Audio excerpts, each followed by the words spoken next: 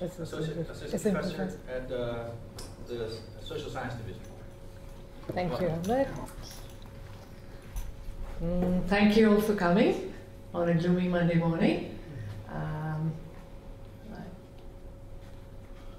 this paper that I'm presenting here today is actually based on a forthcoming article I have at the Journal of Development Studies. Uh, but I am doing follow up work on these issues, which is why I'd be very interested to hear your comments and questions. So, basically, uh, the title of the paper is Is the PDS Already a Cash Transfer? So, I thought I'd first walk you through. Uh, there's been a long running debate in India about uh, the PDS versus cash transfers, which sort of sets the background for the paper. Um, and for those of you who are unfamiliar with India, the PDS is the public distribution system.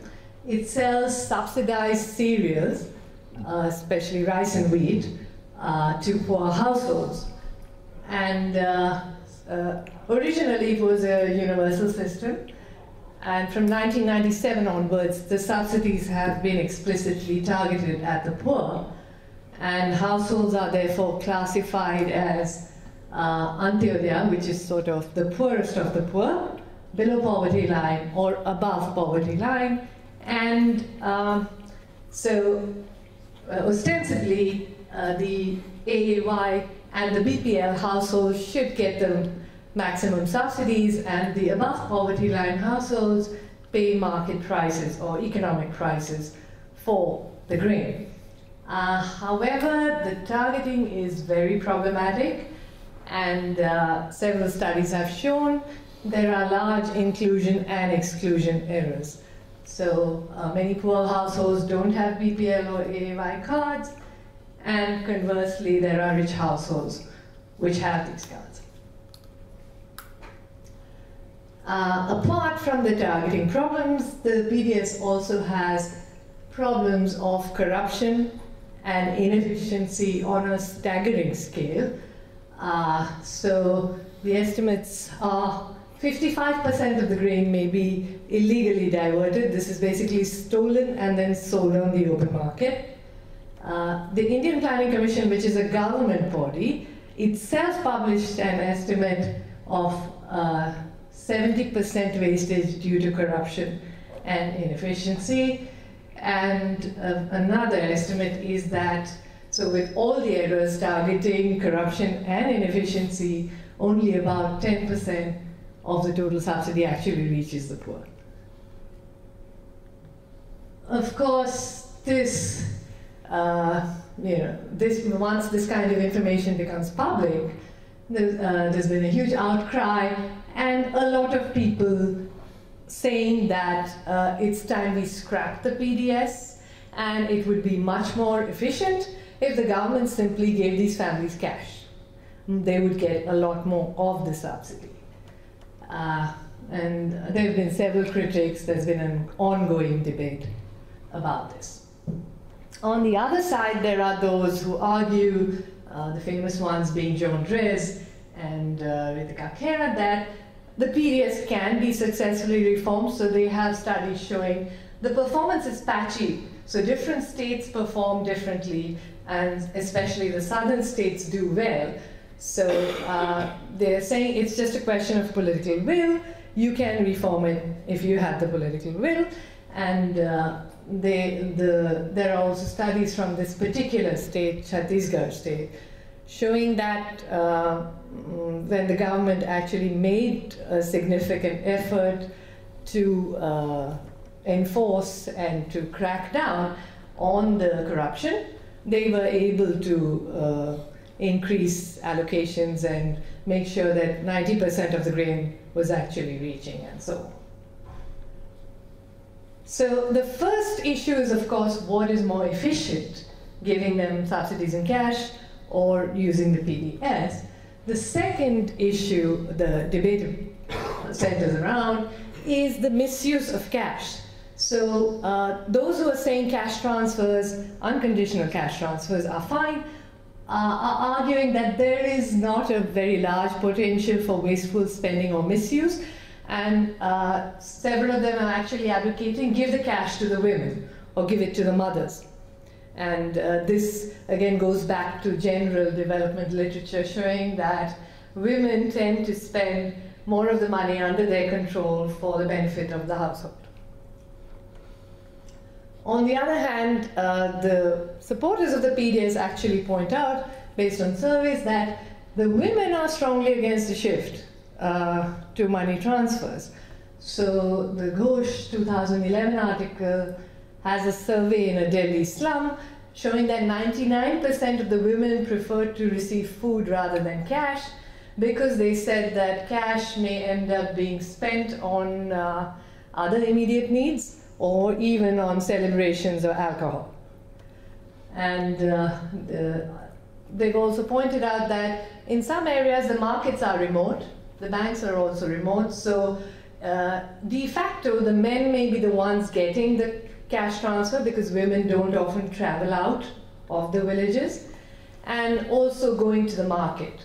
So if it's cash, the men will gain control uh, somehow or there's, there's a high probability of that.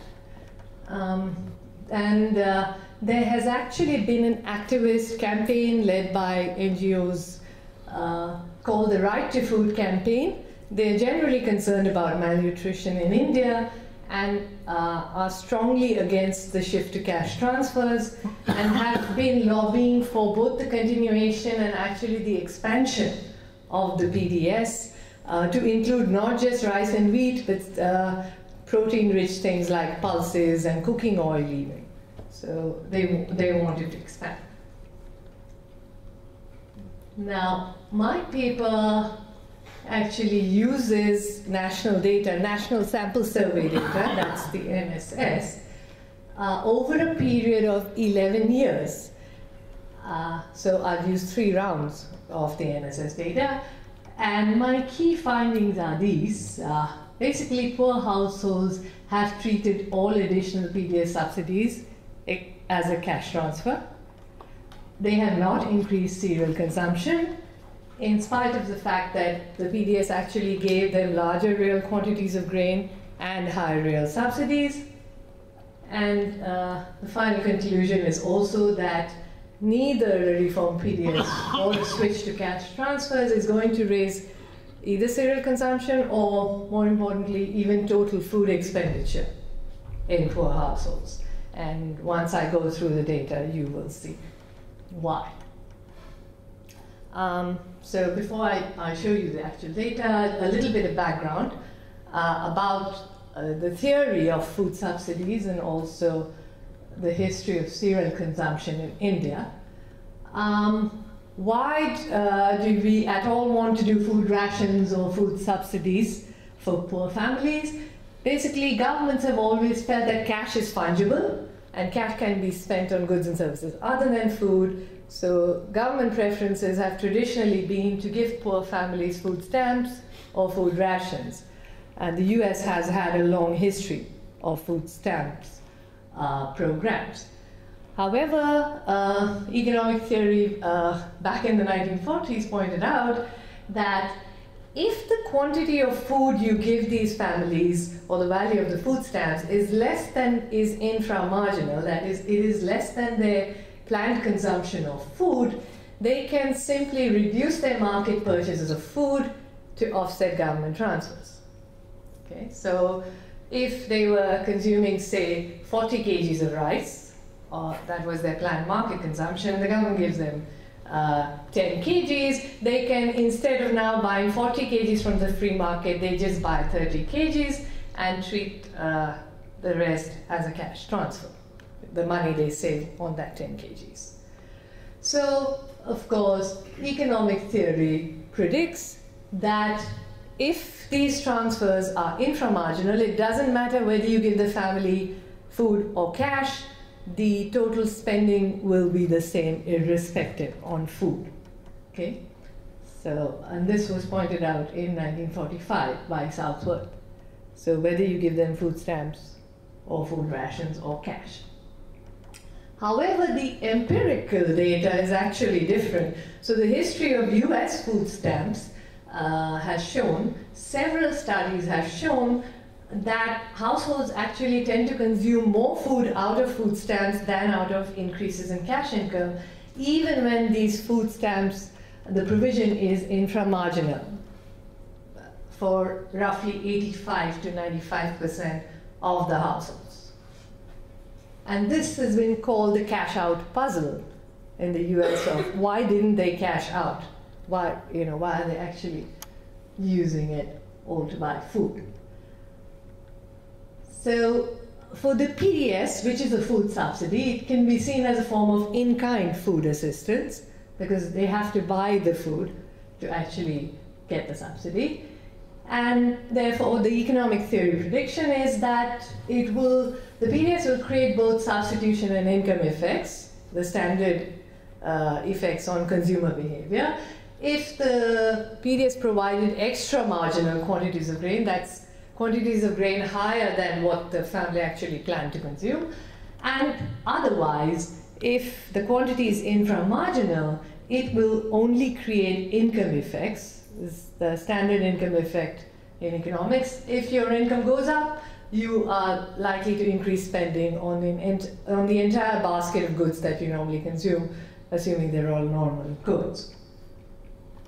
And of course, from the empirical studies, you see that even if the PDS were inframarginal, there is a possibility that it would actually increase cereal consumption more than giving these families cash.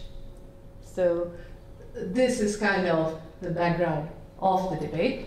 There has been uh, some previous work on the impact of the PDS, not much.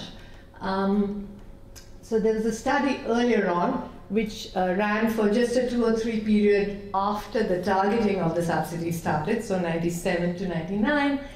Uh, but it didn't cover all Indian states and it only covered the rural poor. The conclusion, however, is similar to my paper that the PDS has had only a marginal uh, impact on the calorie intake of the poor. But the reason they're saying is that it gave them very small quantities of grain, it gave them insufficient grain. Uh, there's another more recent study by Svedberg in 2012, uh, but this is a bit flawed. Uh, it's a cross sectional analysis using data from 2004 5 uh, and comparing households with BPL AAY cards to other poor households. Uh, unfortunately, as this data shows, both sets of households actually received PDS subsidies. The targeting is imperfect and you cannot uh, therefore run a cross-sectional comparison like this. Also, the data shows that the BPAL AAY households tend to be poorer than even the normal poor households.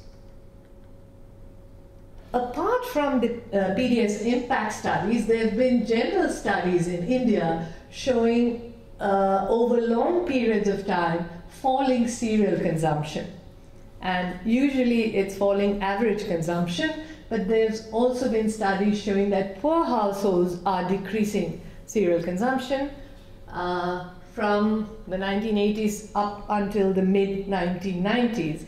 Uh, mostly the period they cover is before subsidies began being targeted to the poor. There is, however, one study which covers the period after the Deaton and Drèze study of 2009, which is showing that in the poorest rural quartile from 1983 to 2004-5, cereal consumption actually decreased. However, none of these studies looks at how PDS grain provision to poor households changed during the period in which their cereal consumption fell. And it's of course possible that that could have been reversed by targeting the subsidies to the poor the reasons that these studies give for a, general trend of falling cereal consumption is uh, things like a reduction in physical labor because transport uh, has become more mechanized, agriculture has become more mechanized, infrastructure has improved, and so on. So people are actually doing less physical labor, and uh, therefore they claim that that leads to lower calorie requirements and cereal consumption. there's also a presumption that there have been changes in tastes and preferences. Uh, the issue that most concerns my work is they've also suggested that there may have been a rise in the relative price of cereals or a fall in real incomes, and either of these which, uh, could offset any positive impact created by the PDS. So I control for these two factors in my study. Okay, so uh, moving on to the data. Uh, as I said, I've used three NSS rounds, National Sample Survey rounds, uh, 99 2000, 2004 5, and 2009 10 and that covers an 11 year period. And I'm basically looking at two broad questions Has the PDS raised cereal consumption in poor households? And is it likely to raise total food expenditure in poor households? Um, because of all the serious problems with the targeting, I have not used the BPL-AAY classification at all to uh, check whether the PDS has had a positive impact. I've used, uh, because that has actually become a politicized issue. Uh, if, if your local politician likes you, uh, even if your family is rich, you can get hold of a BPL card which entitles you to subsidized grain at a highly subsidized rate, 50% in some cases. Uh, so it, uh, so in many cases, it's actually a political decision who should get the cards as opposed to being real means testing of is this household really poor or not. Uh, however, with the NSS data, there's not this issue. It's, it's basically a ranking of households by income. So I've used the bottom four deciles uh, by income in both rural and uh, urban areas to show uh, as my definition of poor households. So poor households are the bottom four deciles, and I've shown each decile separately. Um, also, first off, the quantities of the grain that the PDS actually provides are inframarginal, uh, because that previous discussion we talked about, and in no case does it exceed 27% of a household's total consumption in none of these deciles. So uh, basically, the PDS should only have income effects. So the conditions for a rise in cereal consumption gen, uh, initiated by the PDS, uh, I basically need to show four things.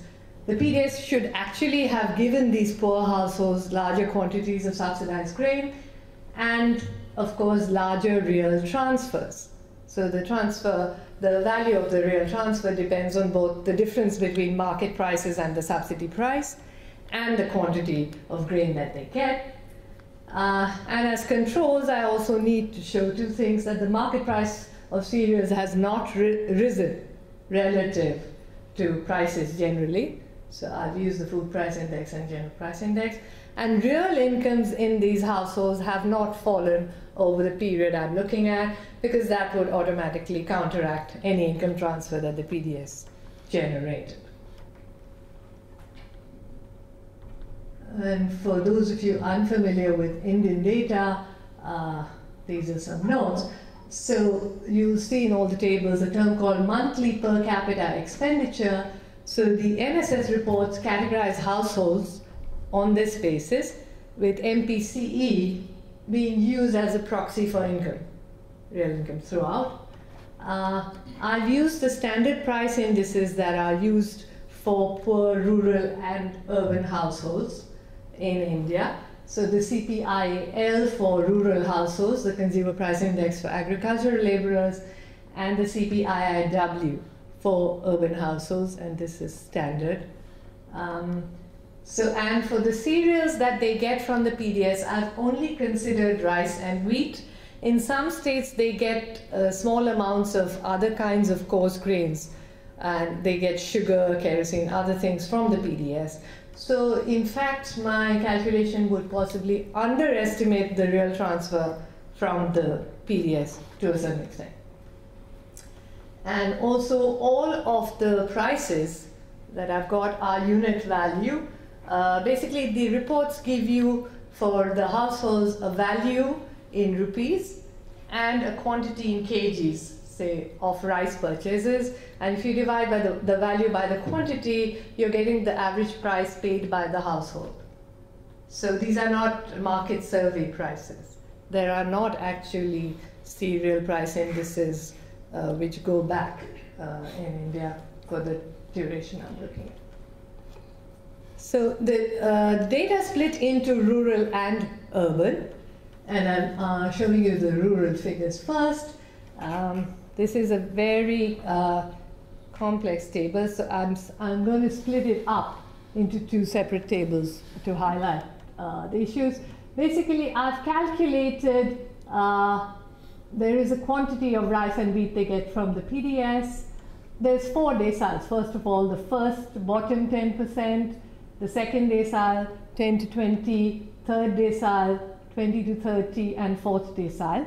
All the tables are laid out this way. And uh, three different years 99, 2000, 2004, 5, and 2009, 10. And I'm looking at the percentage changes over the 11 year, entire 11 year period, percentage change. These are exactly the same. It's just two, the bottom two deciles here and the third and fourth deciles in the bottoms of the tables. Um, I have calculated the nominal income transfer uh, from the PDS in rupees per capita per month. All the figures are monthly per capita expenditure and consumption per household. So to show you an easier table with less data and less crowded. Uh, so basically for rural households, uh, first off, look at the quantity of PDS rice and wheat purchases. Over the period, there's been increases of over 100% in all the four bottom deciles. I've converted the nominal income transfer into two different real estimates. The first is uh, just in constant 99,000 rupees. And the second is if you take divide the nominal income transfer by the market price of cereals, how many extra kgs of cereals could they have bought? So uh, it's a real transfer in market kgs of cereals. And if you look for rural for deciles, there are increases of over 200%. Can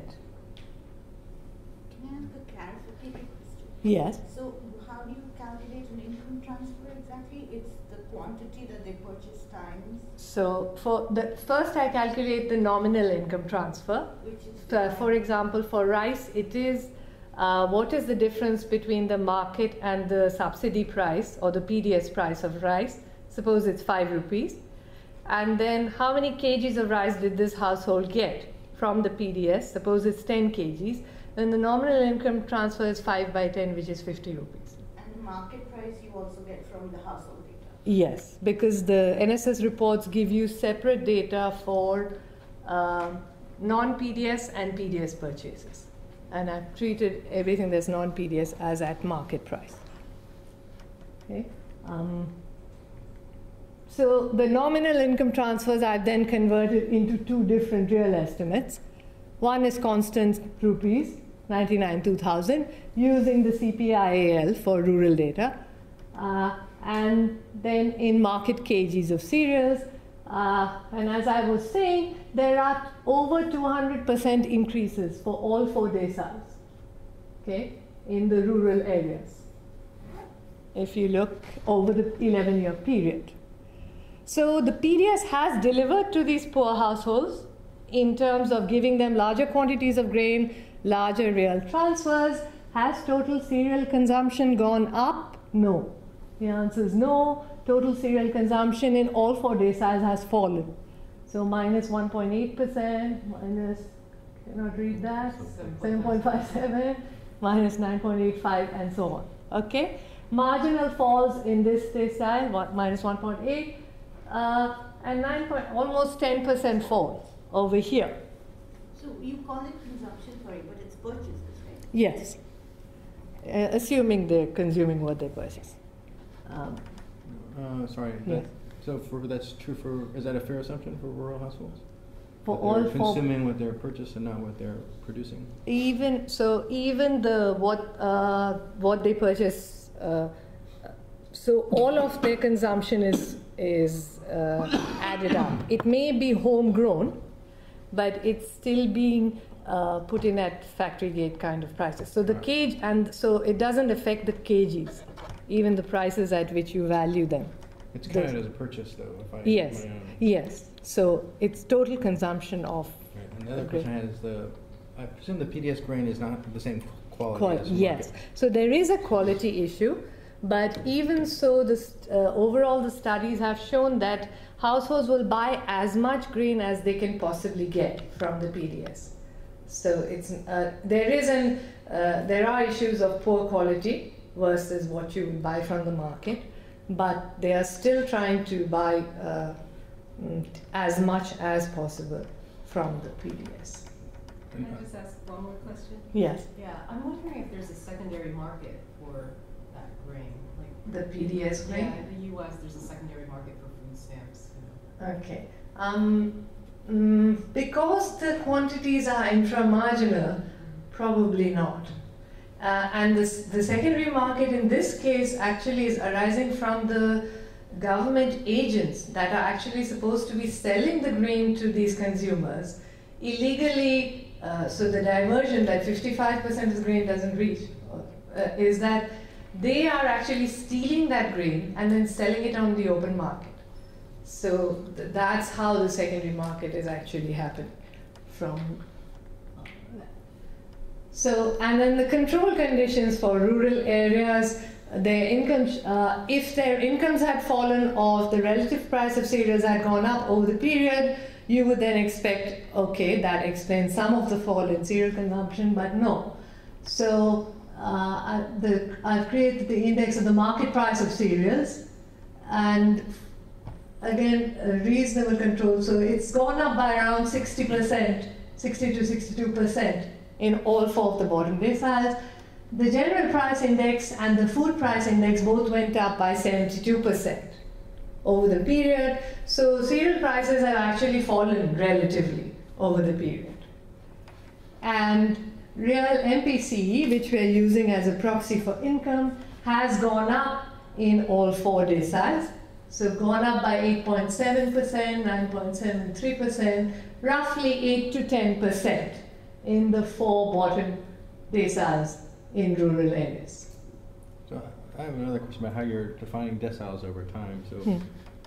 if you, if your expenditure grows, do you move between the deciles here? And also the, the program is gonna affect your expenditure, so uh, you're looking at effects broken down by expenditure groups, but which group you're in may also be affected by whether you're getting these. These uh, subsidies or not. So then it gets a little bit hard to. No, the, it's true that the composition is changing over time. So those who were in the bottom decile in 99 2000 are not necessarily the same households that are there in 2009 10. So you may have moved between deciles. So that, that is possible, though there, there is not that much upward mobility that you would actually to have transcended four deciles, say, or but. Uh, even so, the fact uh, that they have larger incomes and that uh, cereal prices actually fell relatively uh, would indicate you can't use a strictly revealed preference argument because the composition has changed and the basket of goods is also different. So, uh, but you, what you can say is that uh, these households could definitely afford to buy more cereals, and they didn't the ones in the bottom decile. And of course, real income has gone up, so they are richer. So it's uh, in that sense, in the theoretical sense, you can't use a strictly uh, revealed preference kind of uh, argument. All right. So uh, this is the urban data, and here I'll just show you the two uh, simpler tables. Again, uh, quantity of PDS rice and wheat has gone up, not quite as much as in the rural areas, but still ranging from about six, uh, well, 30% to 128% in the lowest decile. So they have definitely got more grain. Have they got larger real income transfers? Yes. Again, not quite as large uh, an increase as in the rural areas, but going from 135% to 235, 270% increases. So sizable increases. And again, if you look at total cereal consumption in kgs from all sources, it has fallen in every single decile.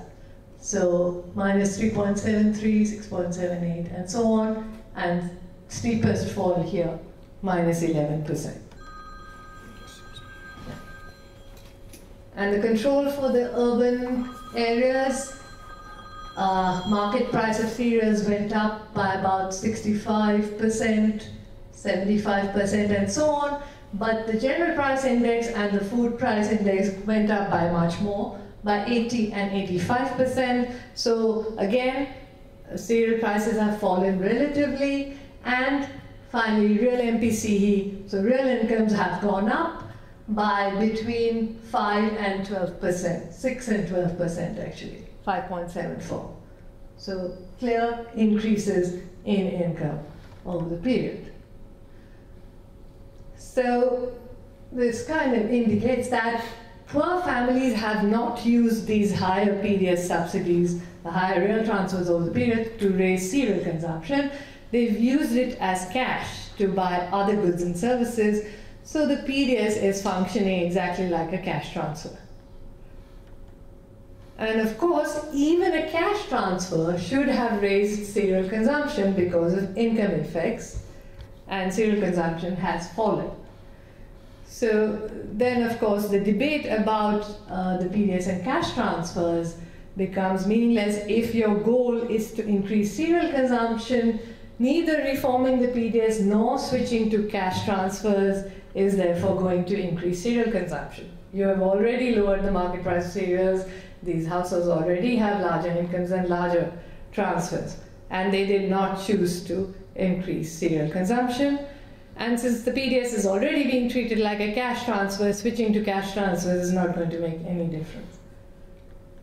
So, of course, uh, you know, it might be argued that cereals are just one part of the diet, and nutrition depends on not just how much rice and wheat they're eating, but also uh, the, you know, meat, milk, fruit, vegetables, all the other food groups, and so on. So then becomes meaningful to see is the PDS improving nutrition by increasing spending on foods other than cereals? So are they buying other food with it?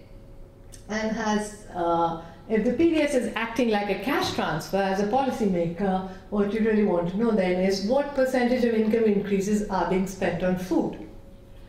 And that's what uh, the, the next set of data is looking at. So has total food expenditure gone up? Um, at this point, uh, you know, it has been argued, like I showed earlier, that cereal consumption is falling because tastes have changed. Uh, however, mm, the, the food expenditure issue, uh, they overall they need to consume some amount of food, and tastes and preferences are subjective. The objective indicators of malnutrition in India are not good at all, even with high growth. Uh, so this quote I've used, anthropometric indicators of nutrition in India for both adults and children are among the worst in the world. For women, in some cases, they are comparable to sub-Saharan Africa. And uh, the same study says 50% of Indian children are underweight and roughly 50% are anemic. So uh, while you can say that tastes and preferences have changed, uh, as a policymaker, the issue of malnutrition is still very high, or, should, or at least should be very high on the agenda given the objective indicators for this. And so the question I was looking at is has total food expenditure risen with PDS subsidies and higher real incomes? And the short answer to that question is no. In 75% of poor households, real food expenditure actually fell over this 11 year period. And that's the data I'm showing you next. Uh, again, I'm showing it for both rural and urban uh, poor households separately, bottom four deciles. And uh, so I'll just switch to the shorter table, uh, which highlights uh, this. Again, rural poor households, real, real, so total expenditure, real MPCE went up by 8% to 10% roughly in the bottom four deciles. So, and real food expenditure has gone down in this decile marginally. A marginal rise over here, a slightly larger rise over here, and again a marginal fall over here. And on the other hand, if you look at real non-food expenditure, it's gone up by a much larger percentage. So 8.7% total expenditure increase, food expenditure falling by 0.2%, but non-food expenditure going up by 27%. Uh, same things here. Non-food expenditure in all deciles has gone up by roughly 27% over the period, with food increasing only marginally in these two. So even in these two deciles, the, the, any increase in income has largely been devoted to non-food expenditure as compared to food. Um, in urban areas, the, it is even more striking, and uh, I'm showing you the data, the short table for urban areas.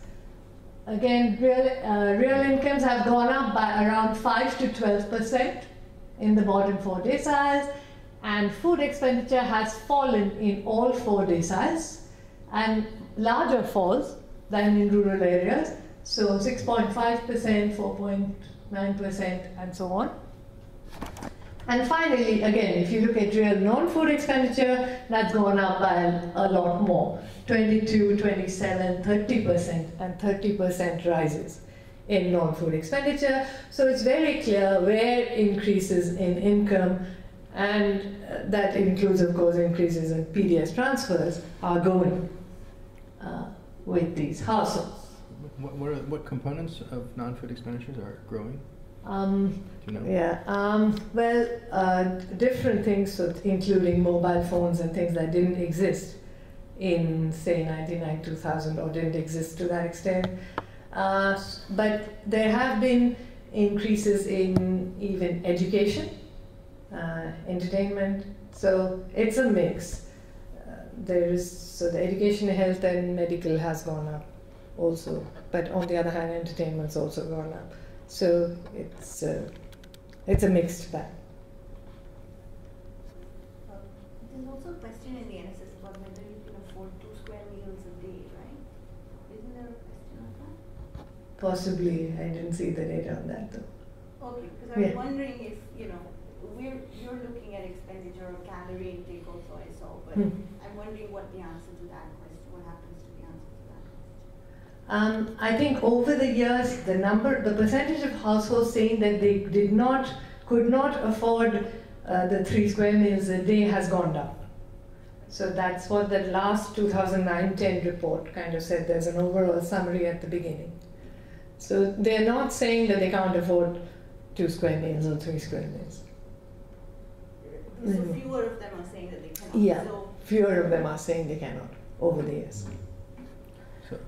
Uh, I'm a little bit confused about the logic of the argument because there's obviously something major going on in consumption structure Hmm. in India. Uh, and so, just because you know PDS has increased and cereal or food consumption has not increased, it doesn't mean that PDS is not having a positive effect on food consumption and cereal consumption relative to the case if there had not been any PDS. Because obviously these things are going down Mm. by themselves. So I had expected a comparison of the households receiving PDS and Mm. households maybe not receiving PS Mm.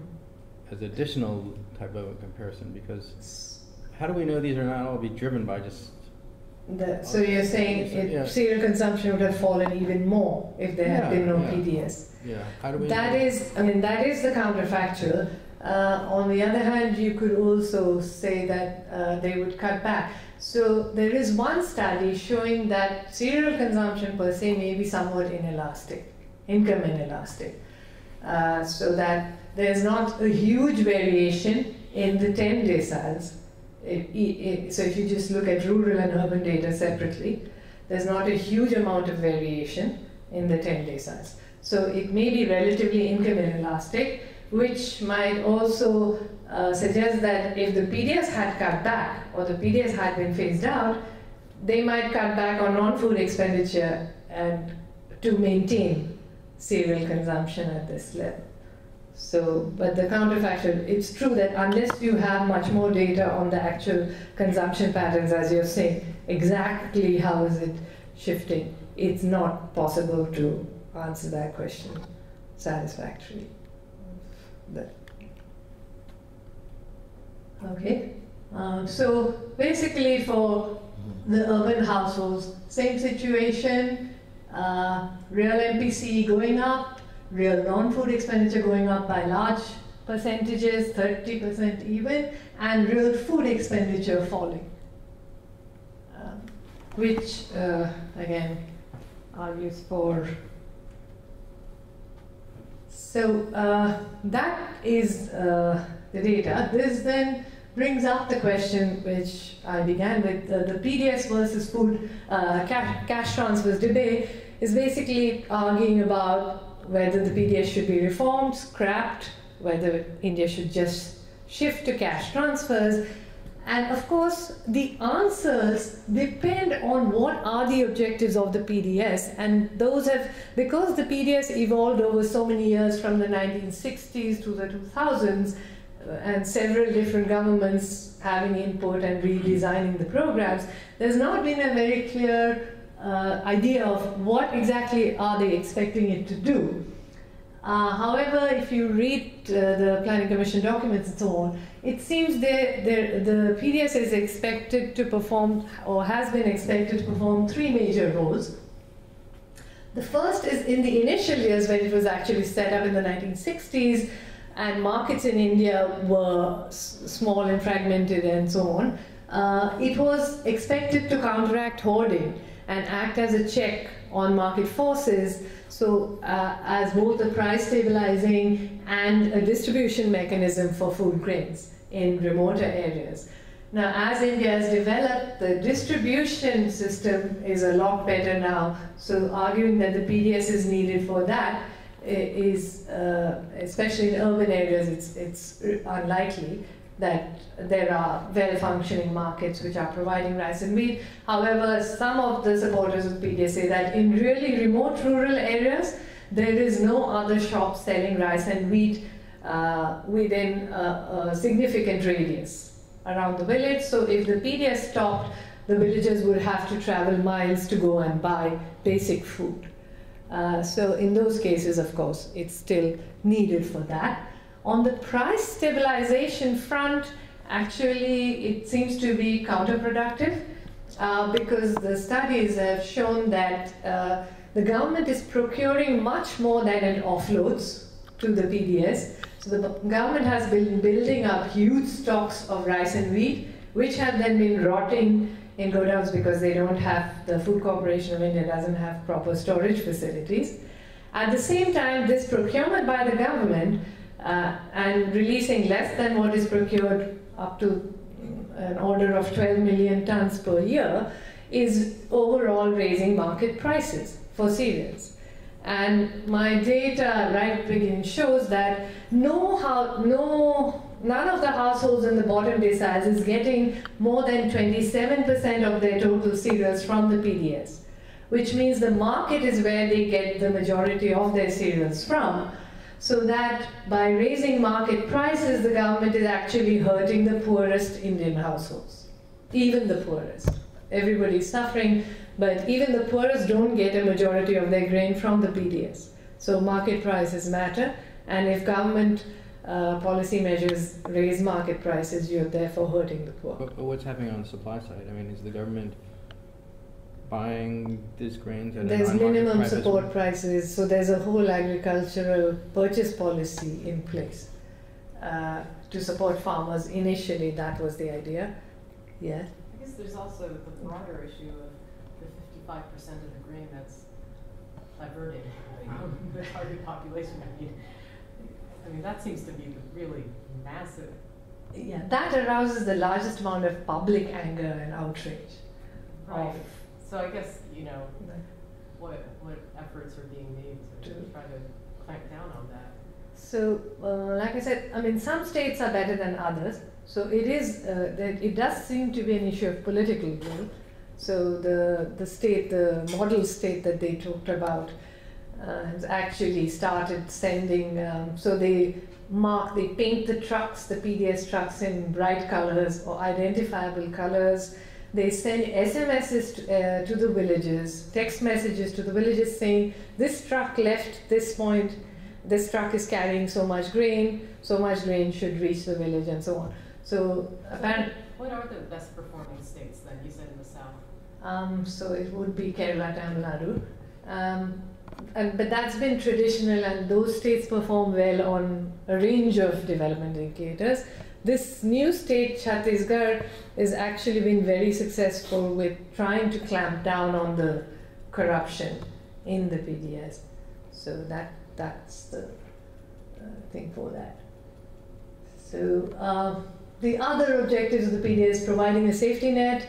Uh, if the idea is just to give a handout, then of course cash transfers, uh, as the current government is uh, seems to be determined to shift to cash transfers and has already set up over a million bank accounts for households that previously didn't have a bank account. Um, and uh, will perhaps implement uh, sh- a shift from the PDS to cash transfers. They've already done it for other subsidies. Um, ha- even here, there are, uh, you know, the critics say just like grain can be diverted, it may be equally, it may in fact be easier to divert cash transfers when you have an illiterate population, uh, unfamiliar with banking, and so on, where it could be quite easy to trick them out of their money. Oh, uh, so there is a debate around even whether the electronic cash transfers, uh, how effective that would be.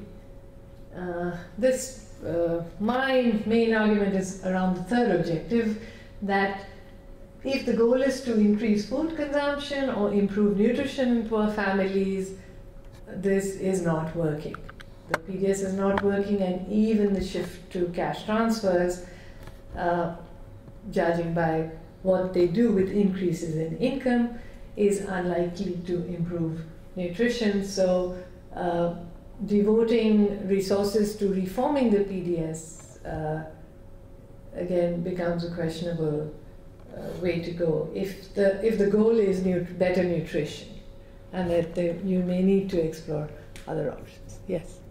With respect to this last point, Hmm.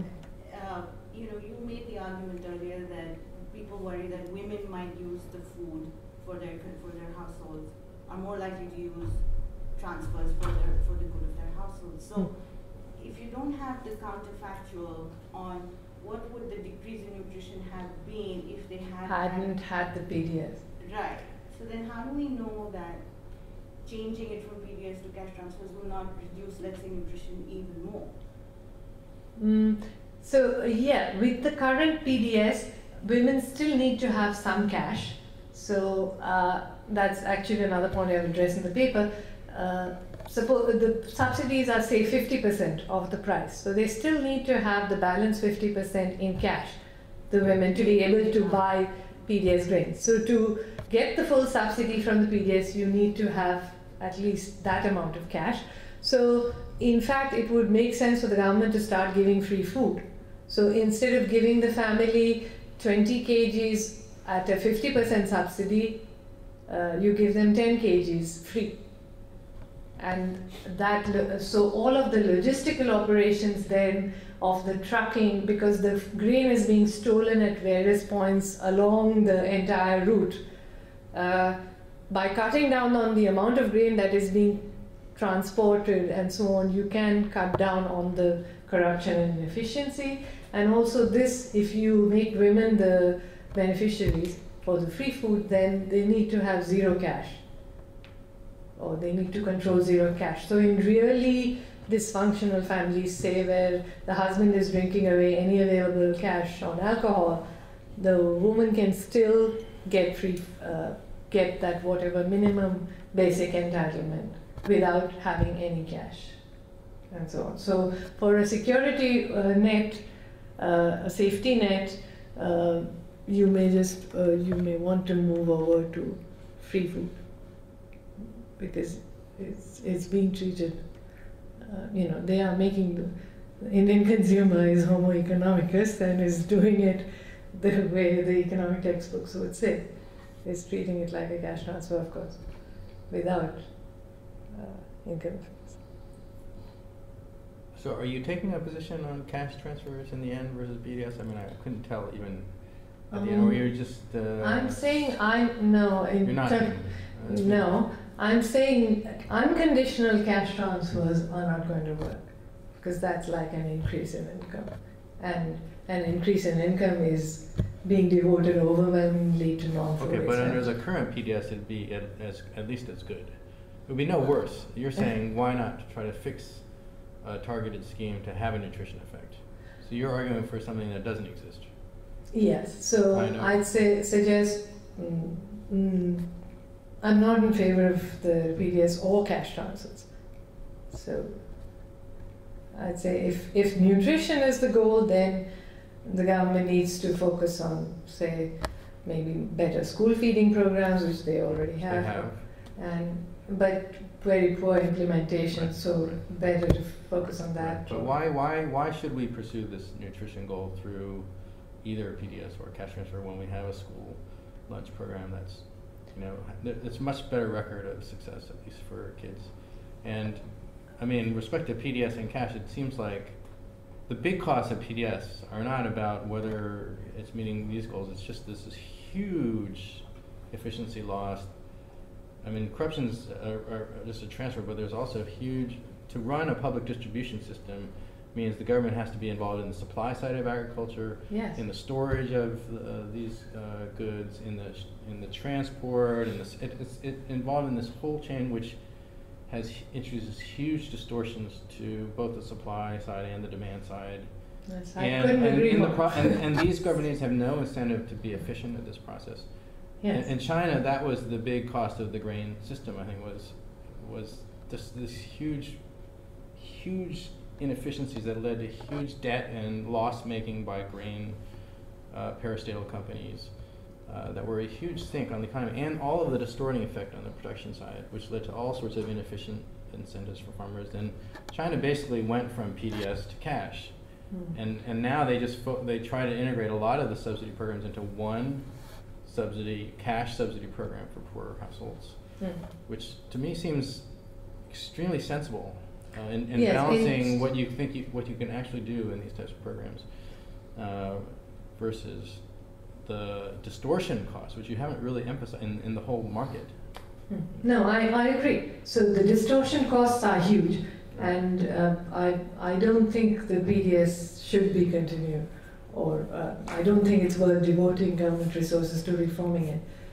However, if they insist on keeping it, they could at least make it less uh, inefficient by switching to free food. But so yes. All right. Other questions? Any other questions? I think I've just done my time. All right, thank you very much.